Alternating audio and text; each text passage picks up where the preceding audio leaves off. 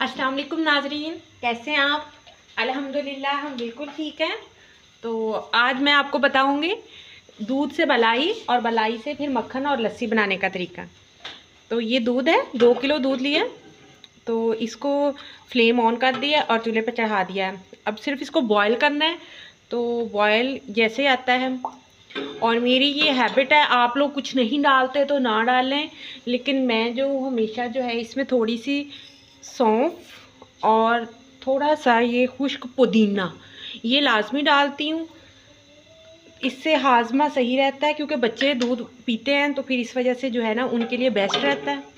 तो आप कुछ ना डालें तो अगर डालना चाहें तो डाल लें एज़ यू विश तो अभी हम इसका बॉयल आने का वेट करते हैं। दूध को बॉयल देते वक्त ऐसे थोड़ी दो तीन बार इसमें ना चम्मच चला दीजिएगा। तो ऐसे जो है ना, लोग जो है ना, वो बस इसको बॉयल लेने के, ऐसे फ्रिज में रख लेते हैं, ऐसे यूज़ कर लेते हैं। लेकिन डॉक्टर्स भी कहते हैं कि जो बलाई उतरा हुआ दूध होता है, वो ज़्यादा फ़ायदेमंद होता है। तो क्यों ना बलाई उतार ली जाए? तो जस्ट इतना ही होता है ना कि उसको बॉयल करना पड़ता है और ठंडा करना पड़ता है। तो उससे बलाई से हम लोग मक्खन बना लेते हैं, देसी घी बन जाता है, बच्चों को दें। लेकिन खुद आप वैसे दूध इस्तेमाल करें, जो बलाई उतरा है, वो ज़्यादा फ़ायदेमंद है।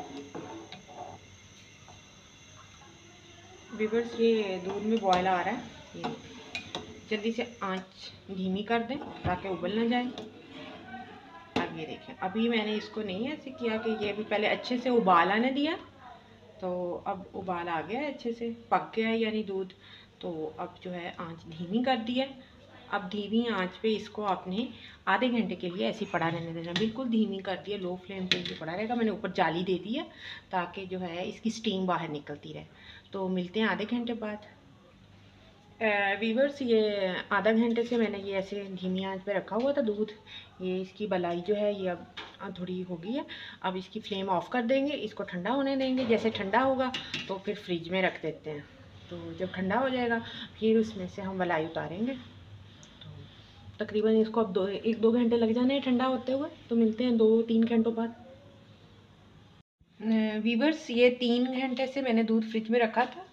अब अच्छे से ठंडा हो गया और ये इसके ऊपर बलाई जम गया हम बलाई उतार लेंगे और बलाई जो है, ये मैं पहले से इस डब्बे में जमा करती हूँ। कल भी डाली थी तो ये आज भी डाल लेती हूँ। तो इसी तरह मैं दो से या तीन दिन की करके ना, जमा करके तो इसको जाग लगा लेती हूँ। तो आप डेली भी कर सकते हैं, एक दफ़ा वाली भी कर सकते हैं।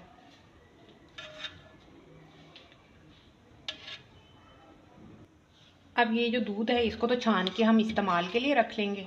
और ये जो बलाई है, इसको मैं ओवन में दो मिनट के लिए गर्म करती हूँ। गर्म करने के बाद दो से तीन मिनट के लिए कीजिएगा, बहुत ज़्यादा भी नहीं करनी। और ये जो है ना, इसमें लस्सी डाल देनी है। लस्सी या दही डालनी है डाल के, फिर इसको मिक्सअप करने के बाद ओवन में पड़ा रहने दूँगी माइक्रोवेव में, ताकि जो है ना, ये थोड़ा सा जो है गर्म जगह पे रहे। या फिर आप ऐसा कीजिएगा, कोई गर्म शॉल या गर्म कपड़े में लपेट के इसको रख दीजिएगा। तो अब सुबह हम इसकी जो है ना, ये लस्सी बनाएँगे और मक्खन बनाएँगे। वीवर्स ये जो मलाई को जाग लगा के रखी थी तो ये देखें। ये है, ये जो मैंने लगाई थी, ये थोड़ी देर के लिए मैंने आधे घंटे के लिए फ्रिज में भी रख दिया था। ज़्यादा ठंडा नहीं करेंगे, बस इसका मक्खन निकालने के लिए इसके टेम्परेचर का ख्याल रखना होता है। अगर तो गर्मियाँ हैं तो हम इसको ज़्यादा ठंडा करेंगे, इसके अंदर ठंडा पानी भी डालेंगे। और अगर सर्दियाँ हैं तो हम इसके अंदर नीम गर्म सा, हल्का सा रूम टेम्परेचर वाला पानी डालेंगे। बहुत ज़्यादा सर्दी है तो थोड़ा सा गर्म करके पानी डालने में भी कोई हर्ज नहीं है।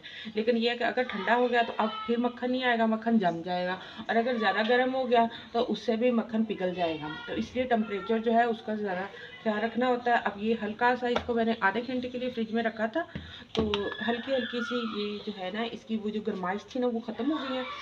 अब ये लिया है ब्लेंडर तो इसको पहले वॉश कर लेना है। इसके सूखे के अंदर नहीं डालना।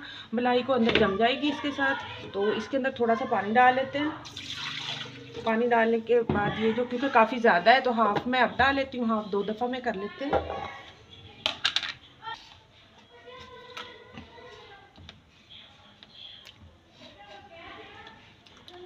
ये हाफ़ डाल लेती हूँ। तो ब्लेंड करते हैं। ये ये वीवर्स ये देखिए ऊपर। ये मक्खन आ गया। अब इसको किसी भी बर्तन में ऐसे निकाल लूँगी। और ये वाला बर्तन भी जो है, ये गीला होना चाहिए। खुश्क बर्तन के साथ ही लग जाता है।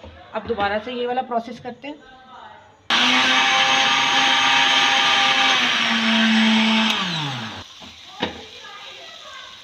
ये पाइप बन गया। तो ये देखिए, इसको भी मैं इसी में ले लूँगी ये इसको भी वॉश करके ऐसे, और ये ढक्कन को भी लगा हुआ है तो ये सारा अंदर डाल लेंगे। उसके बाद इसको ऐसे ऐसे थोड़ी देर हिलाइएगा तो ये मक्खन जो है, ये जुड़ जाएगा। आपने हैंड्स को भी अच्छी तरह वॉश कर लेना है, साबुन के साथ, गीले हैंड्स होंगे ना, उसके साथ मक्खन बिल्कुल भी नहीं चिपकेगा, ये आपके सामने है।